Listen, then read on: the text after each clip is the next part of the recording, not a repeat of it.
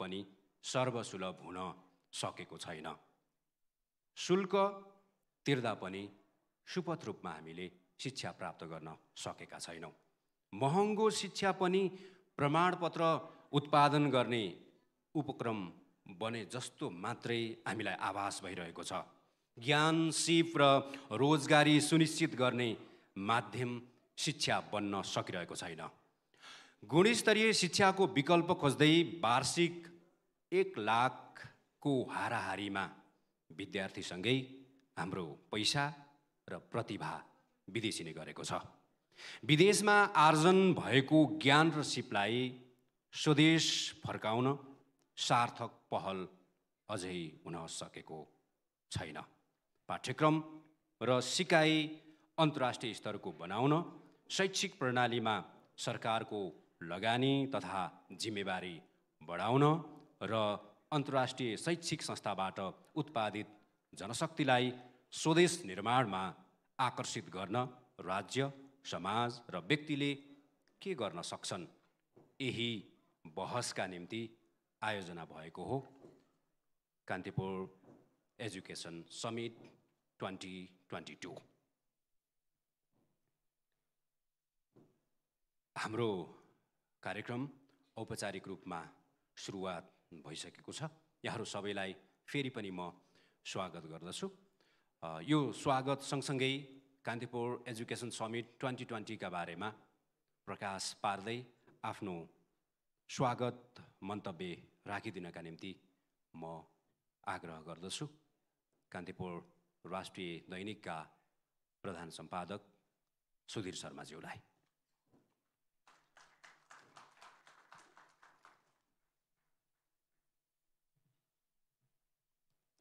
धन्यवाद भूपेन्द्रजी। सबैलाई नमस्कार। हामीले आज यो कान्तिपुर एजुकेसन समिट खासमा शैक्षिक विषयमा पहिलोचोटि हामीले यस्तो खालको छलफल अलि ठुलो खालको छलफल हामीले पत्रिकाको या हाम्रो मिडियाको प्रयोजनको लागि त गर्दै आएका थियौँ तर यो खालको ठुलो छलफल पहिलोचोटि गर्दैछौँ। अरू समिटहरू हामीले अरू विषयमा योभन्दा अगाडि बेला बखत गर्ने गरेका छौँ।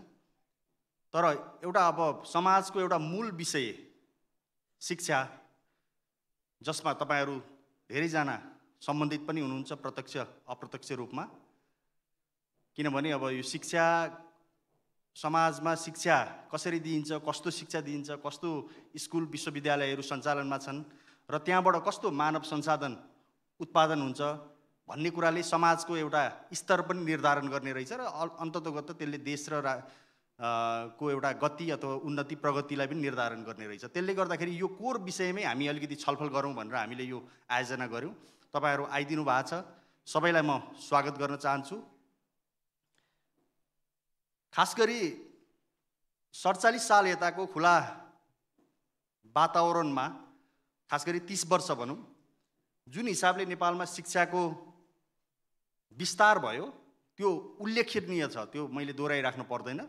सङ्ख्याको हिसाबले पनि निजी क्षेत्रको पहलमा भएका शैक्षिक संस्थाहरूको स्थापनाको हिसाबले पनि सामुदायिक पहलको हिसाबले पनि र शिक्षित जनशक्ति उत्पादन भएको हिसाबले पनि।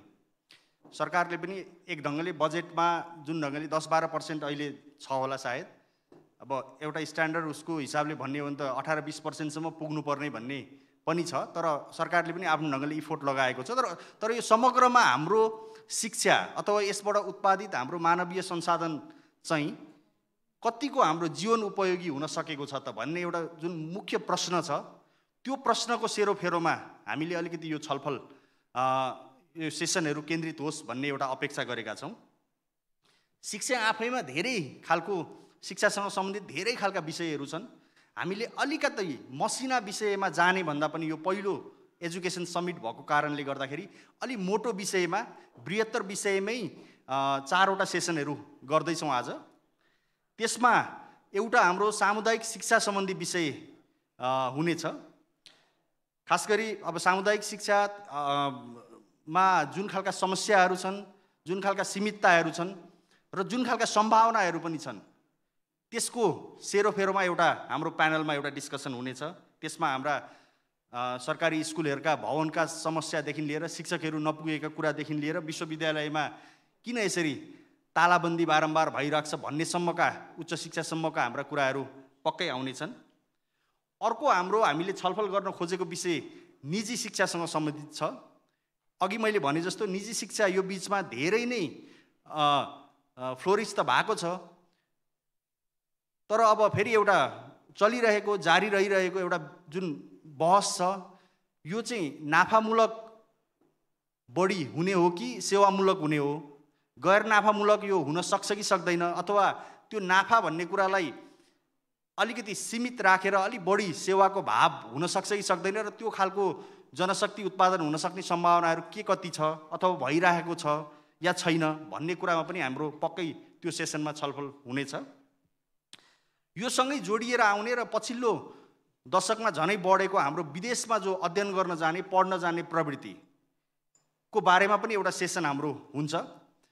अब यो विदेशमा पढ्न जाने कुरा आफैमा त्यो आपत्तिको विषय नहोला तर विदेशमा पढ्न जाने सँगसँगै हाम्रो चाहिँ एक खालको आप्रवासन पनि जोडिएको छ। सामान्यतया खास गरी युरोप अस्ट्रेलिया या अमेरिका पढ्न जाने भनेको चाहिँ पढ्न जाने मात्र होइन बस्न जाने खालको पनि भएको छ। माइग्रेसन पनि त्यहाँ जोडिएको छ। हाम्रो त्यहाँ उच्च शिक्षा लिएका गुणस्तरीय शिक्षा लिएका विद्यार्थीहरू युवा पुस्ताहरू समाजमा नेपाली समाजमै यहाँ फर्केर त्यो जुन खालको ज्ञान आर्जन गरेको हुन्छ त्यो ज्ञान आर्जन गरे अनुसारको रोजगारी पाउने अवस्था हामीले किन दिन सकिरहेका छैनौँ? त्यो सम्भावनाको ढोका कहाँ अलिकति बन्द छ भन्ने कुराहरूमा पनि मलाई लाग्छ त्यो आस्पेक्टमा पनि हाम्रो छलफल होला।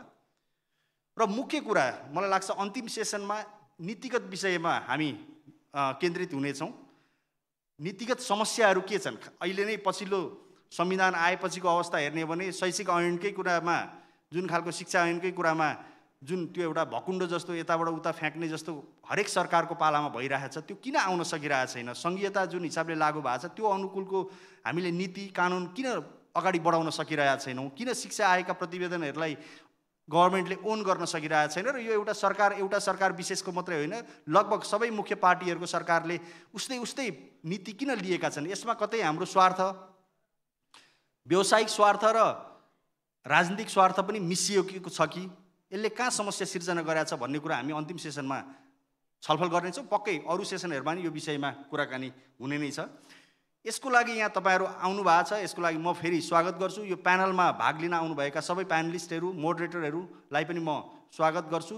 र सबभन्दा सुरुमा हाम्रो अगाडि आदरणीय सुरेश राज सर हुनुहुन्छ। सुरेश राज शर्मा जसले सामुदायिक पहलबाट एउटा विश्वविद्यालय एउटा अग्रणी विश्वविद्यालय खडा हुनसक्छ भन्ने उदाहरण पेस गर्नुभयो। काठमाडौँ विश्वविद्यालय तपाईँ हाम्रो सामु छ। उहाँको किनोट स्पिच उहाँको उहाँले गर् दिँदै हुनुहुन्छ। उहाँलाई पनि म स्वागत गर्न चाहन्छु। र यति राम्रो उपस्थिति भएको छ मलाई लाग्छ आजको छलफलहरू जसमा हाम्रो प्रश्नोत्तर पनि हुनेछ फ्लोरबाट राम्रोसँग अगाडि बढ्नेछ। थ्याङ्क यू धन्यवाद आइदिनु भएकोमा।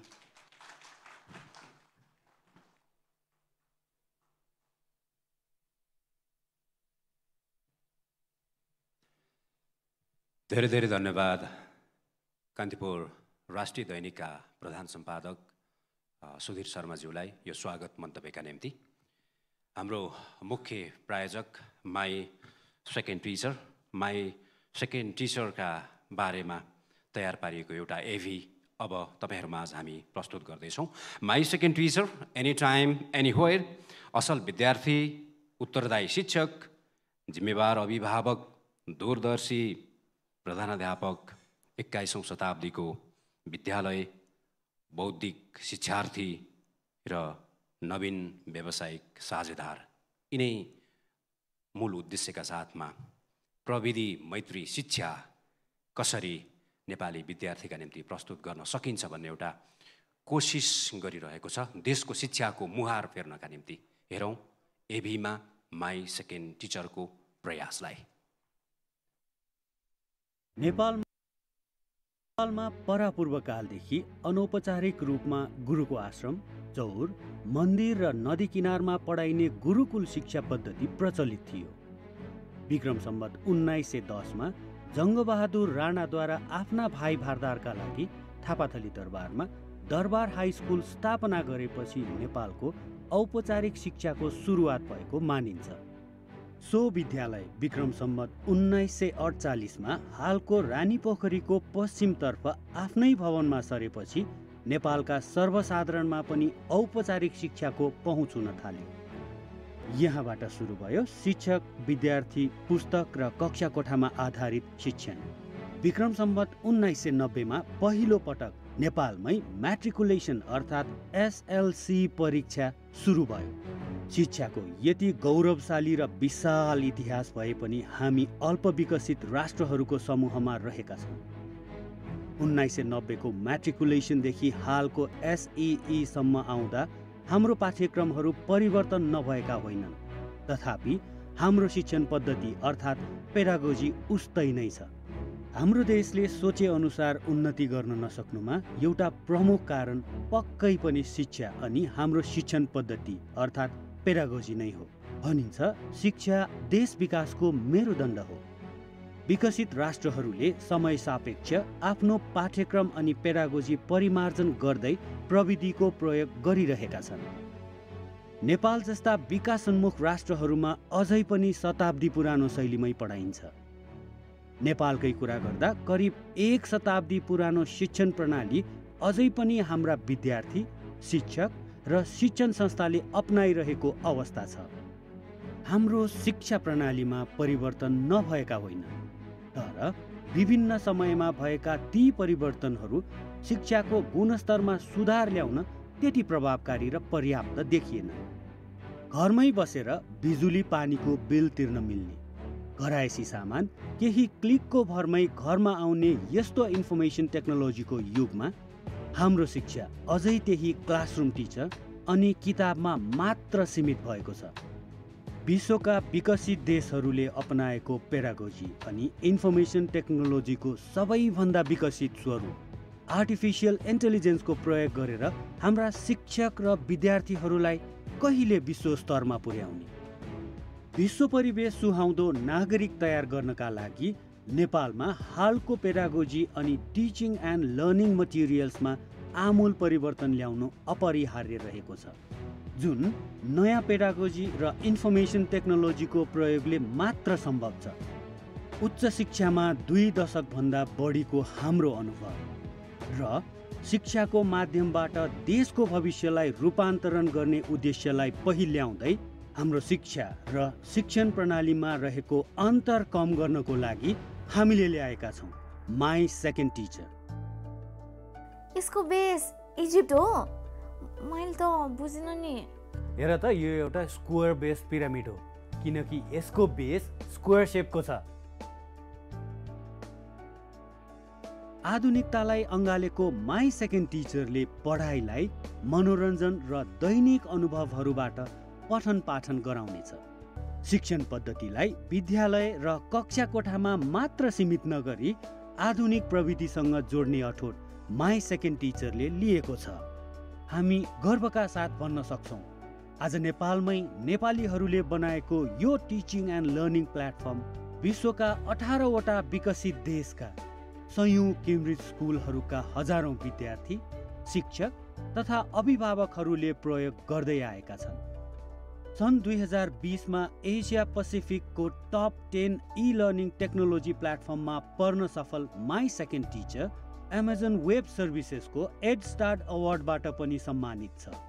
विभिन्न विषयका समसामयिक अवधारणा पाठ्यक्रमका विषयवस्तु र दैनिक जीवनका अनुभवहरू शिक्षण पद्धतिसँग जोड्ने context concept real life application पेरागोजीमा आधारित भएर माई सेकेन्ड टिचरले ल्याएको छ शिक्षक विद्यार्थीको रोचक संवादमा आधारित इन्टरेक्टिभ भिडियोज नबुझेको कुरा शिक्षकसँग अनलाइन र व्यक्तिगत रूपमै सोध्न सजिलै उपलब्ध ट्युटर सपोर्ट प्रत्येक विद्यार्थीको सही मूल्याङ्कन गर्न आर्टिफिसियल इन्टेलिजेन्सको प्रयोग गरी बनाइने डायग्नोस्टिक रिपोर्ट कुनै पनि समयमा आफ्नो क्षमता चेक गर्न टेस्ट पेपर्स र अन्य थुप्रै विशेषताहरू माई सेकेन्ड टिचरमा रहेका छन्।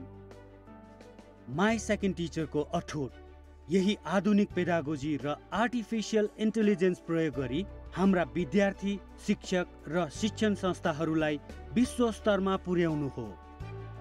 सुनौलो भविष्यको सुरुवात माई सेकेन्ड टिचरको साथ। माई सेकेन्ड टिचर भविष्य नेपालको। माई सेकेन्ड टिचर भविष्य नेपालको यति राम्रो प्रयास र यति राम्रो अभ्यासका निम्ति फेरि एकपटक अ, गडगडाट ताली दिन आग्रह गर्छु म माई सेकेन्ड टिचरलाई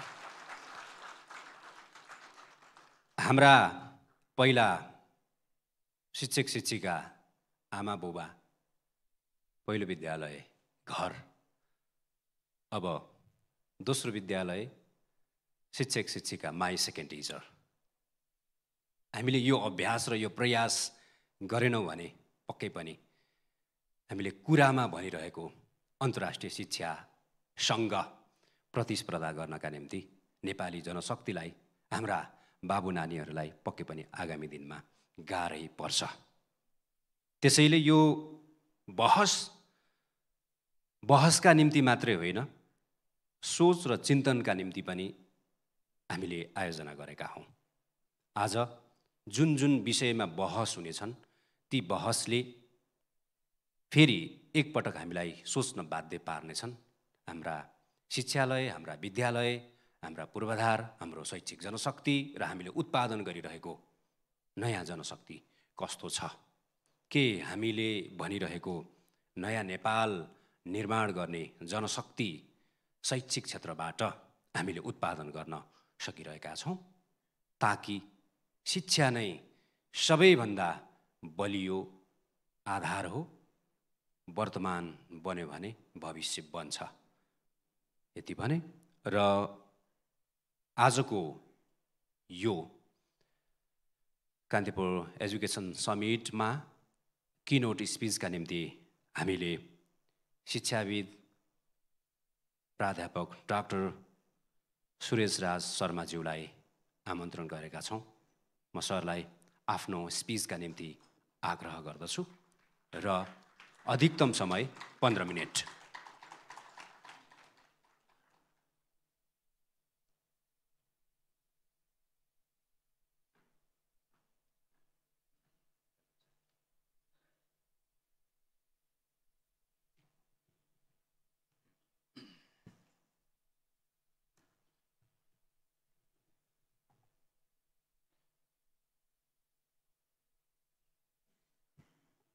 आजको यस भव्य कार्यक्रम Kantipur education summit two thousand twenty टूमा मलाई आमन्त्रण गर्नुभयो र आफ्ना केही भावनाहरू राख्ने मौका पनि दिनुभयो र अन्तर्क्रिया गर्ने पनि अवसर दिनुभयो त्यसको लागि म सर्वप्रथम कान्तिपुर पब्लिकेसन्स ग्रुपलाई धेरै नै धन्यवाद दिन चाहन्छु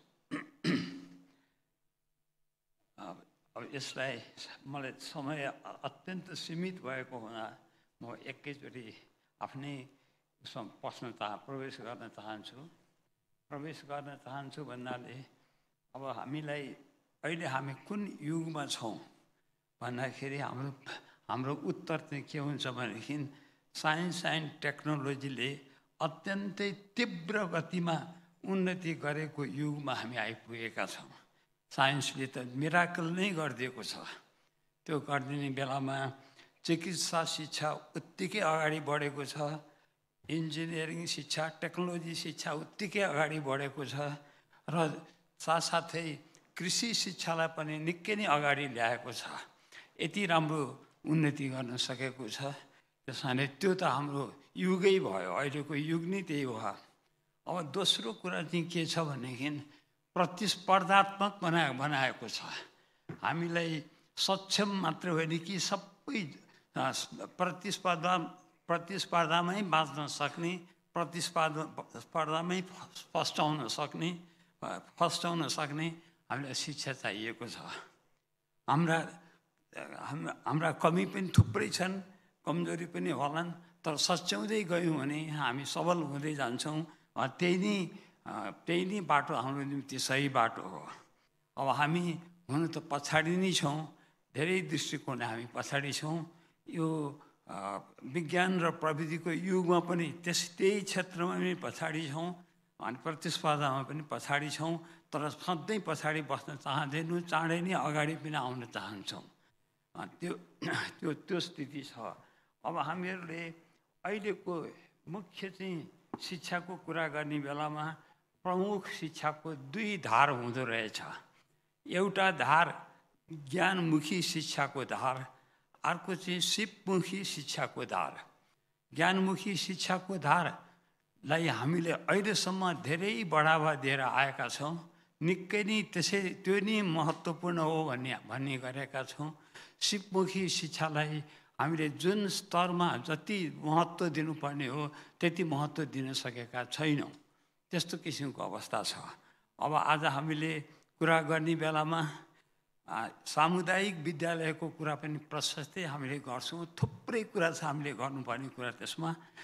उच्च शिक्षाको कुरा पनि त्यति नै गर्नुपर्ने छ। उच्च शिक्षाभित्र अनुसन्धान पनि समेटिएको छ। नयाँ विधा पनि पहिलाउनु परेको छ। त्यो पनि उत्तिकै महत्त्वपूर्ण छ। र सिपमूलक शिक्षाको धार पनि उत्तिकै महत्त्वपूर्ण छ। त्यो धार जति बलियो भयो कमजोर वर्ग त्यति नै चाँडै सुध्रिन सक्छ। त्यस्तो किसिमको अहिले अवस्था छ। यो तिनटै धार महत्त्वपूर्ण छ। तर महत्त्वपूर्ण भए तापनि हामीले एउटा कुरा चाहिँ के बुझ्नुपर्छ भनेदेखि औपचारिक शिक्षाको औपचारिक शिक्षाको धार चाहिँ निकै लामो रहेछ। निकै लामो यति लामो रहेछ कि पहिलो पहिलो पहिलो सिँढी नै त्यो पार गर्नको लागि अब अब विद्यालय तहमा आधारभूत शिक्षा मात्रै पुरा गर्नुको लागि आठदेखि नौ वर्ष लाग्दो रहेछ। आठ वर्ष औपचारिक भयो प्रि प्राइमरी अथवा किन्डर गार्डन गरेर नौ वर्ष लाग्दो रहेछ। त्यसभन्दा पछि माध्यमिक पुरा गर्नको निम्ति अर्को चार वर्ष लाग्दो रहेछ। तेह्र वर्ष भयो बाह्र या तेह्र वर्ष भयो त्यो बाह्र तेह्र वर्षभित्र भित्र कुरा गर्दा गर्दै अठार उन्नाइस वर्षको उमेरमा विद्यार्थीहरू पुगिसक्दो रहेछन्। युवा त्यो उमेरमा पुगिसक्दा रहेछन्। त्यो पुग्रीमा एक थरीले चाहिँ अठार उन्नाइस वर्षको उमेरमा कमाइ खानुपर्ने कमाउनु पर्ने कुरा सिकिसकेको हुनुपर्ने धेरै परिवार झन्डै झन्डै एक तिहाई अथवा अझै परिवार चाहिँ त्यो अवस्थामा रहेछन्। तर कमाइ खाने पर्ने कुरा तिमीले कति सिकेको छौ त? भन्दाखेरि त्यति बेरसम्म त सिकेकै छैन जस्तो भएको रहेछ अहिले। हामीले त्यो सिकाउने धार त्यति हामीले हुन त अब आठ कक्षा नौ कक्षादेखि सुरु गर्ने भनेको छौँ हामीले। तर आठ आठ कक्षा नौ कक्षादेखि सुरु गरे पनि त्यो धार धारमा त्यति प्रबल हुन सकेको छैन। एउटा त्यो परेको छ। तर अर्को चाहिँ के छ भनेदेखि सिप सिक्ने धारको चरित्र चाहिँ पुरै फरक छ। अब त्यो किन फरक भयो त्यसबारेमा म अलिकति बोल्न चाहन्छु। किन बोल्न चाहन्छु भने त्यो धारमा मैले काम पनि गरेको थिएँ। त्यस कारणले म बोल्न चाहन्छु। मसँग अलिकति अनुभव पनि छ। अब यो सिप सिप सिक्ने धारमा पाठ्यक्रम बनाउने पाठ्यक्रम भनेपछि उद्देश्य किटान गर्ने हो भने त ठिक छ। पाठ्यक्रम बनाउने पाठ्य पुस्तक बनाउने पाठ्यविधि अपनाउने अनि परीक्षा त्यसको मूल्याङ्कन गर्ने मूल्याङ्कन गरिसके उपाधि प्राप्त गर्ने यो चाहिँ यो चाहिँ एकदम यो सामुदायिक शिक्षाको धार हो। र त्यो धारको लागि चाहिँ गुरु हुनुपर्छ टिचर हुनुपर्छ क्लासरुम हुनुपर्छ स्पेस हुनुपर्छ होमवर्क गर्नुपर्छ यो सबै विधिहरू चाहिँ हामीले अप्नाइरहेको विधि हो। त्यसले हाम्रो आवश्यकतालाई कति पूर्ति गर्यो त्यो हामीलाई त्यति थाहा छैन। त्यसको समीक्षा त्यति भएको छैन। अब यस क्रममा अब नीति नीतिगत तहमा पनि मैले काम गर्न केही मौका पाएको थिएँ। त्यो नीति बनाउने बेलामा हामी नीति बनायौँ। त्यो त ठिकै थियो।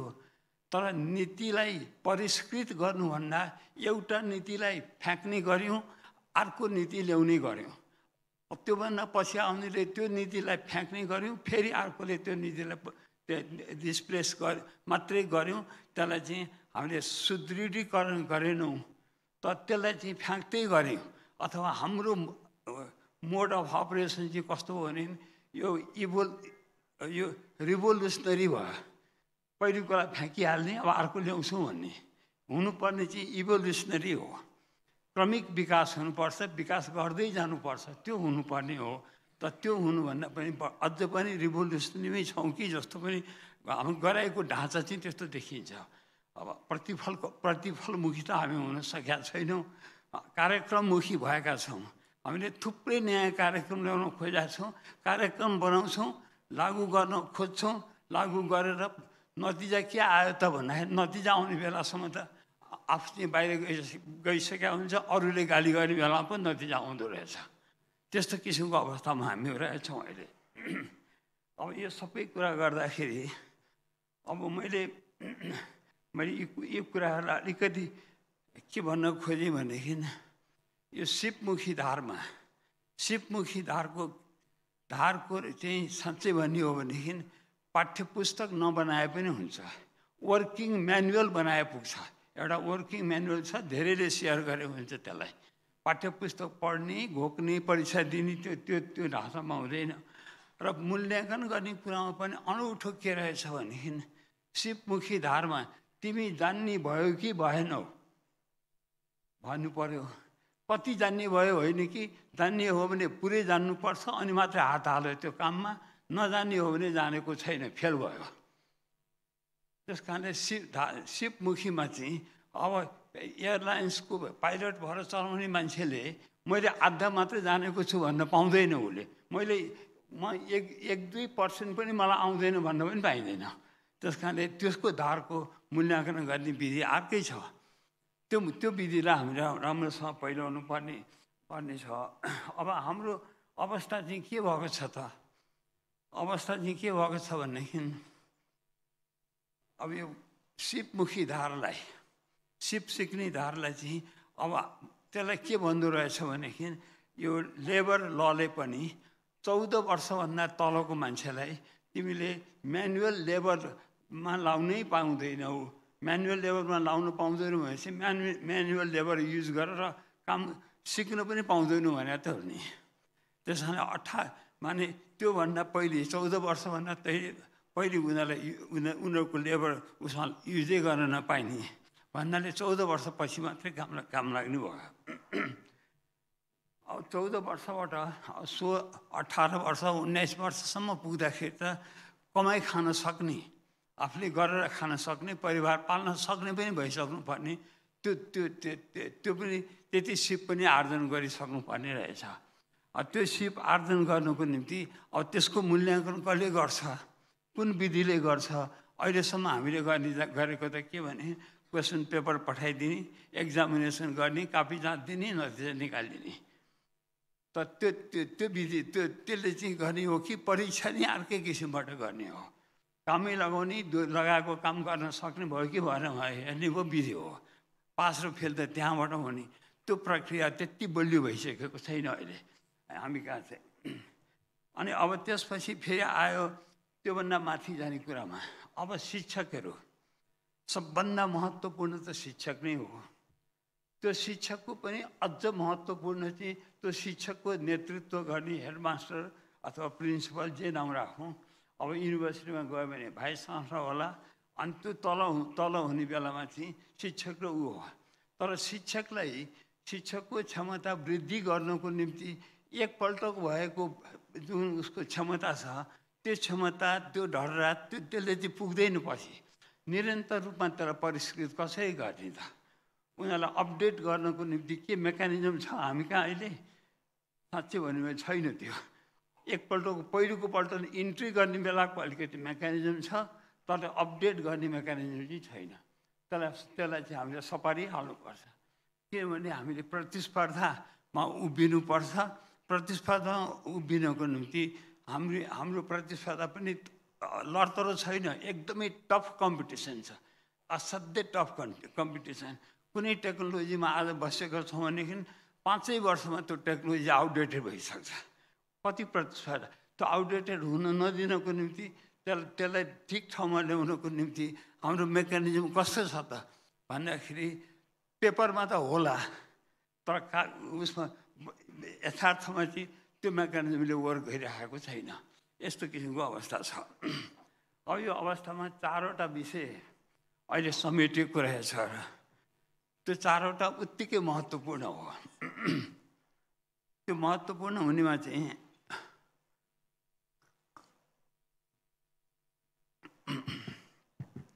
अब यसमा अब पहिलो त भनौँ न सामुदायिक शिक्षामा नै सुधार गरौँ। यसमा धेरै ठुलो गुनासो छ। सार्वजनिक विद्यालयले राम्रो शिक्षा दिन सकेको छैन। त्यो सञ्चार माध्यमले पनि त्यही भनिएको छ बाबुआमाले पनि त्यही भनिएको छ। बाबुआमाले अभिभावकले पनि त्यही भनिएको छ। अब दुइटैले त्यो भनिएको हो भने वास्तविकता नै भनिएको हो भने त्यसलाई त त्यसलाई त सुधार गर्नै पर्छ नि। सुधार नगरिकन बस्न पाइँदैन त्यसलाई। अनि त्यो सुधार गर्नको निम्ति हाम्रो प्रयासहरू चाहिँ कहिलेकाहीँ अपर्याप्त प्रयास भएको पनि हुनसक्छ। कहिलेकाहीँ प्रयास गर्ने बेलामा चाहिँ हाम्रो प्रायोरिटी नमिलेको पनि हुनसक्छ। यो कुरा चाहिँ हामीले राम्रोसँग गम्भीर रूपमा विचार गर्नुपर्छ। तर त्यो सोच्ने जमात त हामी कहाँ बनिसकेको छैन हामीसँग छैन भनेर नभएको होइन कि छैन छ छ भन्न सक्ने अथवा यसरी गर्नुपर्छ भन्ने मान्छे पनि छन्। त्यसको खोजी नभएको चाहिँ होला। हामीले त्यसलाई नदिएर पहिलेकै मान्छेलाई राखी छोडा चाहिँ होला। त्यो पनि पक्कै होला। त्यो चाहिँ धेरै धेरै सम्भव छ। अनि त्यस कारणले अब हामीले यो यसमा विद्यालय स्तरमा हामीले सुधार गर्नु पऱ्यो अब हेर्ने हो भनेदेखि शिक्षकहरूको दरबन्दी पनि छ। शिक्षकको तलब पनि छ। तलब तल राम्रोसँग सरकारले तलब पनि बिहोरेको छ अनि उनीहरूको प्रमोसन गर्ने पनि छ। सबै कुरा सरकारले दिएको ठाउँमा भनेको ठाउँमा काम लगाउन सकेको छैन। जे काम गर्नुको निम्ति भनेको छ त्यो काममा लगाउन सकेको छैन। कता कता कहिलेकाहीँ त्यो काम त मैले पाइहालेँ। अब त्योभन्दा चाँडै माथि गर्नुको निम्ति के गर्नु पऱ्यो भन्दाखेरि कहिलेकाहीँ हुनसक्छ राजनीतिको कार्यकर्ता पो भइरहेको छ कि। त्यो उसले गर्नुपर्ने मूल आफ्नो दायित्वलाई बिर्सेर अब एम्बिसनलाई मात्रै उसले हेर्ने हो भने त बिग्रियो त्यो त त्यो कुराहरू त्यो त्यसमा चाहिँ हामीले ख्याल गर्नै पर्छ। त्यो त गर्न पाइँदैन वास्तवमा। जुन जुन कामको निम्ति आफूले मेहनताना पाएको हो त्यो काममा नै प्रखरता ल्याउनु पर्छ उसले। अरू अरू काम गरेर अगाडि बढ्न त्यो बढ्नु हुँदैन बढ्न दिनु पनि हुँदैन उनीहरूलाई। त्यो किसिमको स्थिति छ। अब अहिले हामीले एक दुईवटा कुरा चाहिँ के भने मैले अघि भने सिपमुखी शिक्षालाई चौध वर्षभन्दा तल सिकाउन नपाइने। त्यो भन्ने बित्तिकै चाहिँ त्यो सिपमुखी शिक्षालाई त्यसभन्दा पछि सिकाउनको लागि नमुना बनाएको छ। तपाईँले कति नमुना बनाउनु भयो? प्रत्येक सात सय त्रिपन्नवटा पालिकाहरूमा कमसेकम एउटा त एउटा नमुना त होस् न। अनि त्यही नमुनालाई चाहिँ त्यो पालिकाभरि अरू ठाउँमा छर्न सकियोस् न। सबै ठाउँमा यही नमुना हो भन्न सकियोस् न। त्यो त्यो नमुना प्र प्रदेशसँग छ त भन्दा प्रदेशसँग पनि छैन कति ठाउँमा त्यो नमुना। अब केन्द्रसँग छ भन्छ नि अब केन्द्र भनेर त कहाँ बसेको छ कहाँ बसेको छ अब त्यो केन्द्रको त्यो कुरा चाहिँ गाउँसम्म पुग्न चाहिँ निकै नै गाह्रो पर्दो रहेछ। यस्तो किसिमको अवस्था छ। त्यो अवस्थालाई चाहिँ हामीले सच्याउनु नै पर्छ। यो सच्याउनु पर्छ। दोष अर्कोमा थपरेर होइन कि दोष आफूले पनि लिनुपर्छ। त्यो सच्याउनु हामीले पनि नसकेको उहाँ भन्नु पनि पर्छ हामीले। त्यस कारण त्यो त्यो रूपबाट हामी जाने एउटा अब यो निजी क्षेत्रको र उसको साझेदारीको कुरा छ। त्यो अत्यन्तै महत्त्वपूर्ण हो। म महत्त्वपूर्ण म अलिकति किन भन्न चाहन्छु भनेदेखि मैले जुन बेलामा आफ्नो पढाइ सिद्ध्याएर भनौँ अथवा पिएचडी गरेर फर्केको थिएँ। मलाई शिक्षाको नीति निर्माण गर्ने तहमा नै मलाई राख्थेँ एकैचोटि। म त्योभन्दा पहिले चाहिँ नीति निर्माणमा थिइनँ पढाउने त ठाउँमा मात्रै थिएँ। त्यो नीति निर्माण गर्ने ठाउँमा बस्ने बेलामा चाहिँ अब नीति बनाउने चाहिँ पऱ्यो? अब नीति बनाउनुको निम्ति मसँग कति अनुभव छ त्यसको? अनुभव पनि सिक्नु पऱ्यो। मैले नै सिक्नु पऱ्यो पहिले अरूलाई सिकाउनुभन्दा पहिले। तर हामी त कुर्सीमा गएर बसेपछि त उसले सबै त्यो जान्दछ भन्ने सम्झिन थाल्यो। धेरै नै मेहनत गर्नु पऱ्यो। त्यो बेलामा यसको निम्ति कसरी गर्ने भन्नलाई त्यो त्यो अध्ययन पहिलेको अध्ययनले मलाई काम लागेन अर्कै अध्ययन गर्नु पऱ्यो। त्यस्तो किसिमको अवस्था भएको थियो र अनि हामी त्यसपछि सिपमूलक शिक्षातिर जान खोज्यौँ। त्यो मात्रै जान खोजेनौँ कि यहाँको अभिभावकले नेपालको शिक्षा राम्रो भएन। हाम्रो केटाकेटीलाई यही शिक्षामा राख्यौँ भने बिग्रिन्छ। भनेर दार्जिलिङमा खरसाङमा अथवा देहरादुनमा त्यतातिर थुप्रै अभिभावकले चेतनशील अभिभावकले पठाउने गरेको अवस्था रहेछ त्यो बेलामा। ए त्यो अवस्थामा चाहिँ हामीले गर्न नसक्ने उनीहरूले चाहिँ गर्ने भने एउटा राम्रो गतिलो स्कुल हामीले सृजना गर्न नसक्ने त्यसको निम्ति बाहिर जानुपर्ने। त्यस कारण हामीले सक्ने त्यही हो भने त्यो काममा नै प्रखरता देखाइहालौँ न। भन्नको निम्ति बाहिर जाने क्रमलाई कम गरौँ र यहीँकोलाई पत्याउँ। हामी आफैले नै गरौँ त्यो। भनेपछि यहाँको निजी क्षेत्रले ल त्यो काम हामी गर्छौँ। हामी सक्षम छौँ हामी गर्छौँ भन्ने कुरा आइसकेपछि ल तपाईँहरू गर्ने हो भने गरिदिनुहोस् तर अरूले हेर्दाखेरि चाहिँ तपाईँको अभिप्राय चाहिँ मुनाफामुखी चाहिँ देखिनु हुँदैन है। सेवामुखी देखिनुपर्छ मुनाफामुखी देखिनु हुँदैन। त्यो कुरा चाहिँ हामीले सर्त नै राखेको थियौँ त्यो बेलामा। मुनाफामुखी देखिनु हुँदैन। किनभने तपाईँले तपाईँहरूले गरेको सफलतालाई त सरकारले लागू गर्नुपर्छ त्यसलाई। तपाईँले गरेको सफलता सफल भयो भने त सरकारको निम्ति सफल मोडल पो हामीले लागू गर्ने हो त। सर सरकारले चाहिँ आफूले दिएको मात्रै राम्रो हो भन्न पाइँदैन त्यो। हामीले त्यो नै भन्ने गऱ्यौँ। त्यो भन्ने गरिसकेपछि ल तपाईँहरू निजी क्षेत्रमा चाहिँ विद्यालयहरू खोल्नुहोस् तर त्यहाँको आफ्नो नर्म्सहरूलाई चाहिँ नछोडिदिनुहोस् तपाईँहरूले। नर्म छोडेपछि तपाईँहरूलाई हामीले पत्याइराख्नु पनि गाह्रो हुन्छ। अरूलाई प पत्याउने गराउने पनि गाह्रो हुन्छ। अनि यस्तो किसिमको अवस्था आउँछ। त्यो अवस्था आएको हुनाले हामीले त्यो स्कुलहरूलाई हामीले पत्यायौँ। अब पत्याएको ठाउँमा अब हामीलाई के पर्यो? अब मसँग सोध्ने हो भनेदेखि त्यो राम्रै शिक्षा दिन सक्यो। त्यहाँ नतिजाहरू निजी क्षेत्रको विद्यालय राम्रै पनि भयो। राम्रो भयो तर महँगो भइदियो। अब महँगो भइसक्ने बित्तिकै पहुँच सबैको पहुँचभित्र परेन त्यो। पहुँचभित्र नपर्ने बित्तिकै त दुई तिन किसिमको सिटिजन पो बनाउन थाल्यौँ त हामीले। एक थरी सबै पहुँच भएको राम्रो राम्रो नागरिक बनायौँ अर्को पहुँचै नपाएको चाहिँ ठिक्कको अथवा कमजोर नागरिक बनायौँ। त्यस्तो किसिमको त हुनु भएन। यो विभेद त हुनु दिनु भएन यसलाई। त्यो चाहिँ हामीलाई गम्भीर चुनौती भयो। अब यो चुनौतीमा एउटा प्रश्न चाहिँ के उठ्छ भनेदेखि सरकारले भनेको कुरा जनताले मा मानि मानि मात्रै रहने हो कि जनताले गरेको राम्रो कुरालाई सरकारले पनि पत्याउने र सरकारले पनि साझेदारी गर्ने? सरकारले साझेदारी गर्न सक्छ? अब मैले भने सिपमूलक शिक्षाको धारमा अहिले निजी क्षेत्र त्यति पसेकै छैन। अलिअलि होला तर निजी क्षेत्र पसेकै छैन। त्यो धारमा पस्नको लागि महँगो पनि छ सुविधाहरू निकै चाहिन्छ ट्रेनिङ मेटेरियल्सहरू धेरै चाहिन्छ औजारहरू पनि त्यत्तिकै चाहिन्छ प्रशिक्षक पनि त्यस्तै चाहिन्छ त्यो सबै चाहिँ महँगो छ। त्यो महँगो गरी गरी महँगो कुरा तर त्यो कम सम्पन्न वर्गलाई काम लाग्ने बनाउनु खोजेका छौँ महँगो पनि छ। त्यसको उपाय के त? उपाय त कसैले पनि भनेको छैन। के उपाय हो त? त्यो त्यो उपाय निकाल्नु परेको छ हामीलाई। उपाय के हुन सक्थ्यो भनेदेखि ल तपाईँहरू यसलाई चलाउने भन्ने कुरा चाहिँ निजी क्षेत्रले पनि जिम्मा ल्याइदिनुहोस्। सरकारी क्षेत्रले पनि तपाईँलाई सघाउँछौँ हामीहरू। हामी आधा जति नै व्यवहार हामी लिन्छौँ आधा व्यव व्यवहार तपाईँहरू तपाईँहरू सृजना गरिदिनुहोस्। त्यो त्यति गरिदिएको भएदेखि हामीलाई सा कति राम्रो साझेदारी हुन्छ। एउटाले अर्कोलाई गाली गर्नुपर्ने अवस्थै नै हुँदैन। त्यति राम्रो साझेदारी हुन सक्ने अवस्था थियो। अब त्यो अवस्थामा चाहिँ यसरी हामीले सिपमूलक शिक्षाको विस्तार हुन नसकेको विस्तार भए तापनि काम लाग्ने उति काम लाग्ने भइसकेको छैन। त्यो कुरा चाहिँ निकै गम्भीर छ। हामीलाई कस्तो छ भने सिपमूलक शिक्षामा धेरैवटा सिपमूलक शिक्षामा लाइसेन्स लिनुपर्छ भनौँ न अब ड्राइभिङ नै कसैले सिकेको छ भनेदेखि त्यो ड्राइभिङ गर्ने त लाइसेन्सिङ बडीले पनि पत्याउनु पऱ्यो नि त्यहाँ।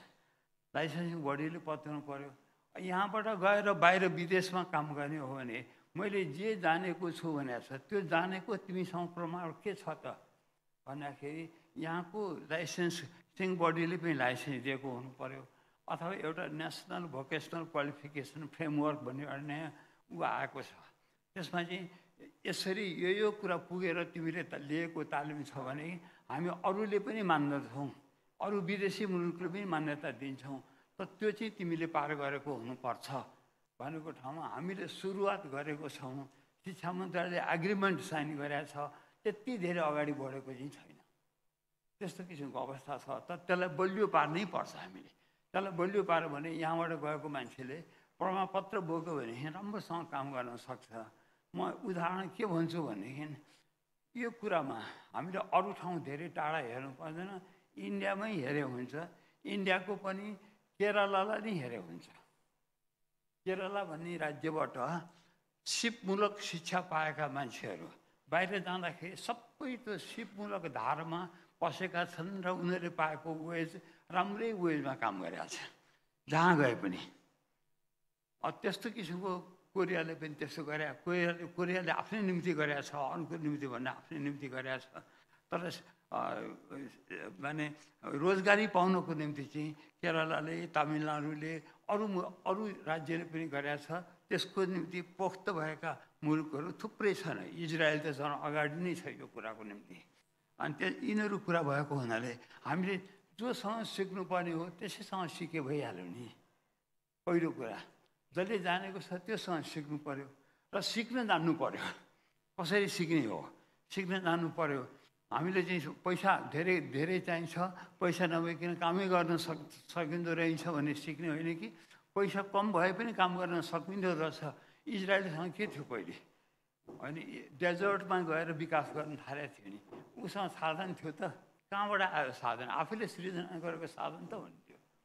त्यो सा आफैले साधन सृजना गरिकन गर्न सकिन्छ भन्ने कुरा आएको थियो। अनि त्यो कुरा चाहिँ अत्यन्तै राम्रो थियो। त्यस कारण हामीले त्यो कुराको निम्ति अहिले हामी के गर्यौँ अब अर्को एउटा यहाँबाट अब तेस्रो धारको कुरा चाहिँ के रहेछ भनेदेखि अहिले हामीले यहाँको मान्छेले राम्रो कुरा सिक्न बाहिरै जानुपर्ने हो त। पहिले यो बाहिर नो अब्जेक्सन लेटर दिने बेलामा म पनि शिक्षाको एउटा महत्त्वपूर्ण पदमै थिएँ। त्यो बेलामा चाहिँ हामीले सर्त के राखेका थियौँ भनेदेखि त्यो शिक्षाको अवसर आफ्नो मुलुकमा छैन भनेदेखि आफ्नो मुलुकमा छ भने यहीँ नै पठाउनु पर्छ छैन भने मात्रै र त्यो त्यसको शिक्षा नै यहाँ भइरहेको छैन मात्र विदेश जानको निम्ति नो अब्जेक्सन लेटर दिने भनेको थियो अनि हामीले यहाँ नै हामीले यदि सुविधा सृजना गरेका छ भनेदेखि त्यो सृजना गरेको ठाउँमा नगइकन बाहिर जान्छु भनेर दिनुपर्ने जरुरत छैन। र आफ्नै किसिमले गर्छन् भने ठिकै छ त सरकारको दायित्वभित्र पर्दैन त्यो। किनभने त्यो जे गर्छु भने हो त्योभन्दा त्यसको लिमिटभन्दा बाहिर गएको छ अलिकति। त्यस कारणले त्यो पनि अलिकति हामीले हेर्नुपर्ने। अब नीति नियमकै कुरा। अब चौथो चाहिँ अलिकति कुरा भन्न खोजेको कुरा चाहिँ हाम्रो नीति कसरी बनाउने?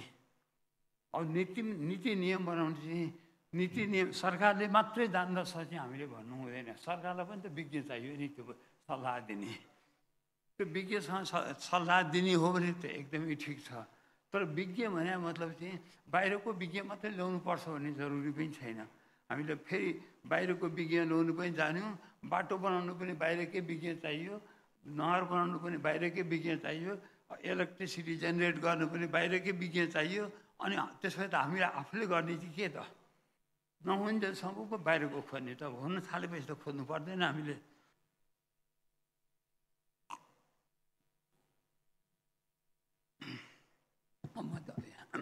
अब यसमा चाहिँ हामीले यो चौथो धारको निम्ति नीति निर्माण गर्दाखेरिलाई जो जोसँग सरोकार छ सरोकार हुने वर्ग विशेषज्ञको विज्ञको वर्ग नेपालभित्रै त्यसलाई पनि समेटेर मात्रै नीति बनाउनु पर्छ। नीति चाहिँ सरकारले मात्रै बनाउनु पाइन्छ भनेर बनाउनु हुँदैन सब सँगै बसेर नीति बनाउनु पर्छ। एउटा त्यो अब अर्को कुरा अब म के भन्न चाहन्छु भने हामीले गरेको उपलब्धि राम्रो पनि छ धेरै छैन थोरै छ थोरै ठाउँ हुनु खोजेको छ। त्यसलाई त्यसलाई राम्रोलाई फै फिजाउनु पनि परेको छ। अनि यस्तो किसिमको अवस्थामा चाहिँ अब हामीहरूले हाम्रो नीति चाहिँ पारदर्शी नै हुनुपर्छ। माने एउटा पार्टीगत नीतिलाई हामीले राष्ट्रिय नीति भन्न सक्दैनौँ। त्यसलाई चाहिँ राष्ट्रिय नीति चाहिँ सबै पार्टी मिलेर बनेको नीतिलाई मात्रै राष्ट्रिय भन्न सक्छौँ हामीहरू। त्यही नै हुनुपर्छ। त्यो एउटा छ। अब यो कुराहरूमा मैले यहाँलाई मलाई धेरै टाइम दिनुभएको छैन। त्यसलाई म अलिकति टुङ्ग्याउनुभन्दा पहिले के भन्न चाहन्छु भनेदेखि यो सबै कुरा मैले भन्न आँट गरेको अथवा भन्न खोजेको कुरा चाहिँ के भनेदेखि मैले आफूले पढेको बेलामा मैले स्कुलदेखि पिएचडी गरुन्जेलसम्म सबै शिक्षा मैले सार्वजनिक विद्यालयमा पढेको हो। सबै कलेजको पनि त्यही त्यहीँ पढेको विश्वविद्यालयको पनि सार्वजनिक विश्वविद्यालयमै पढेँ। त्यस कारणले त्यो पढेको हुनाले सार्वजनिकसँग त्यो क्षमता नभएको होइन त्यहाँ क्षमता त्यहीँ छ भन्ने कुरा एउटा हामीले बिर्सिनु हुँदैन। एउटा अनि दोस्रो सिपमुखी शिक्षाको लागि मैले कुरा गरेँ। त्यो तपाईँले त पढेको मैले केमिस्ट्री पढाए हो साइन्स पढाए मान्छेले सिपमुखी शिक्षा के थाहा? कसैले भन्नु होला? तर यो सिटिभिटी भन्ने संस्था सृजना गर्ने त्यसको संस्थापक म नै हो। मैले नै गरे हो। मैले पढेको ल्याबोरेटरी माथिको पिएचडीको रिसर्च ल्याबोरेटरीमा काम गर्ने कुरा चाहिँ पढेको हो। काम गर्ने बेलामा चाहिँ मैले सिपमुखी शिक्षाको सिटिभिटी भन्ने संस्थाको सृजना गरेको हो। दोस्रो कुरा। अब तेस्रो कुरा अब आधुनिक विषयको पढाइ धेरै भइरहेको थिएन। अहिले अहिले सबै हामीले हेर्नु हेऱ्यौँ देख्यौँ पनि आइसिटी भन्ने कुरा इन्फर्मेसन र टेक्नोलोजी के यो म्यान म्यानेज के कम्युनिकेसन इन्जिनियरिङ भनौँ कम्युनिकेसन साइन्सेस आइसिटी भने टेक्नोलोजीलाई त्यो त्यो जुन हामीले ल्याएको छौँ त्यो त अहिलेको निम्ति त संसारको धर्म नै भइसक्यो। त्यो आइसिटी युज गर्ने भने सबैको घरमा पुगेको छ सबैले प्रयोग गर्नुपर्ने कुरा नै त्यही हुन थालेको छ। त्यसैको शिक्षा चाहियो अब हामीलाई बढी। जुन कुरा चाहिएको छ त्यही कुराको शिक्षा चाहियो। अनि त्यो कुरा गर्नको निम्ति आइसिटीको भनौँ अहिले त बायोटेक्नोलोजीको युग छ हामी कहाँ कृषि उति राम्रो भएको छैन किनभने ट्रान्सफर अफ टेक्नोलोजी नै भएको छैन।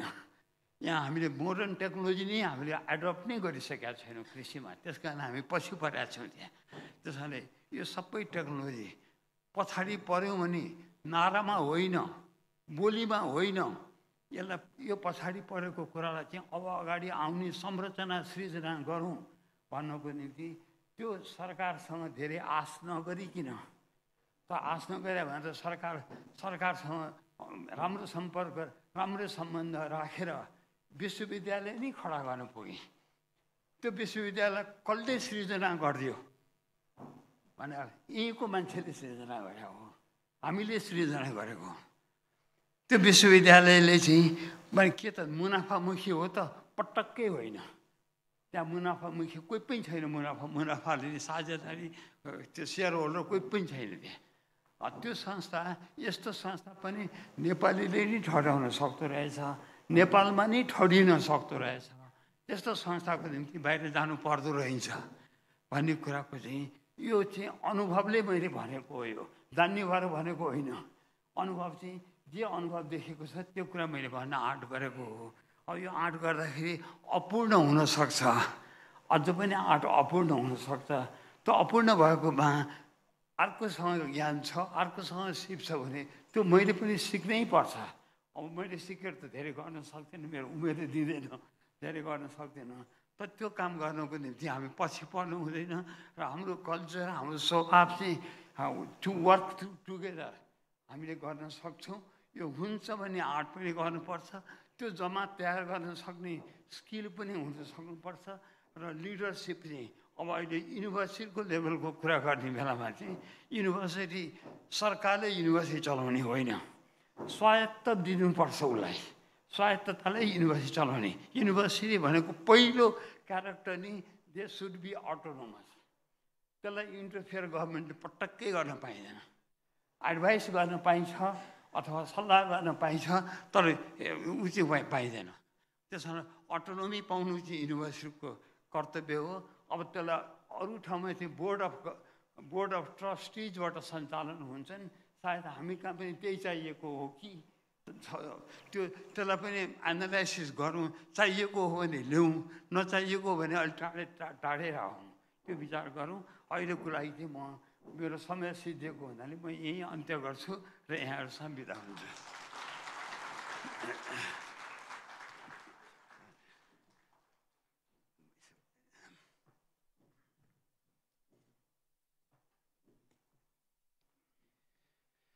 धेरै धन्यवाद आफ्नो विद्युत प्रवचनका निम्ति शिक्षाविद एवं काठमाडौँ विश्वविद्यालय केयुका संस्थापक उपकुलपति प्राध्यापक डाक्टर सुरेश राज शर्माज्यूलाई हामी यति बेला my second teacher presents Kantipur education summit two thousand twenty टूमा छौँ powered by premier international IV old school. उहाँको यो विद्युत प्रवचन सँगसँगै हामी अब आजको बहस अ, तर्फ लाग्दैछौँ। एक घन्टा पन्ध्र मिनटको समय अवधिमा हामी चारवटा सेसनमा चारवटा विषयमा बहस गर्दैछौँ। यो बहसका निम्ति हामीसँग देशको नीति निर्माण तहदेखि निजी शिक्षा क्षेत्रका विभिन्न लब्ध प्रतिष्ठित व्यक्तित्वहरू उपस्थित हुनुहुन्छ। यहाँ उपस्थित हुनुभएका सम्पूर्ण महानुभावलाई विशेषतः नेपालको निजी शिक्षा र सार्वजनिक शिक्षासँग